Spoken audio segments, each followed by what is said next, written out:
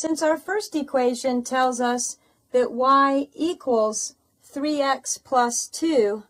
this means that we can substitute a 3x plus 2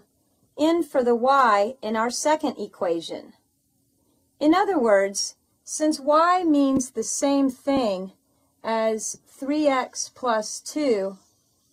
we can replace the y in the second equation with a 3x plus 2. And rewriting our second equation, we now have 7x minus 4 times parentheses 3x plus 2